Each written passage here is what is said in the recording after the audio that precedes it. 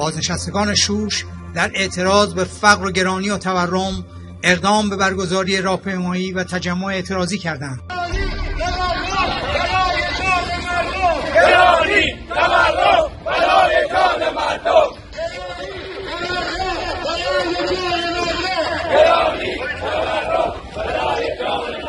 تجمع بازنشستگان تامین اجتماعی شوش امروز چهارم اردیبهشت 1402 پرستاران و کادر درمان علوم پزشکی کردستان در اعتراض به پایمال شدن حقوق و مزایای شغلی اقدام به تجمع اعتراضی کردند.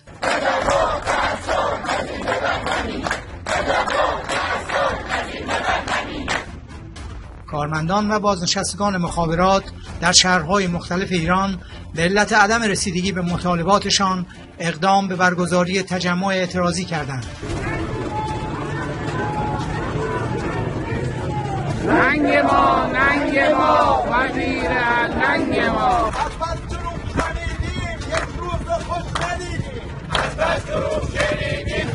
به خود نگیریم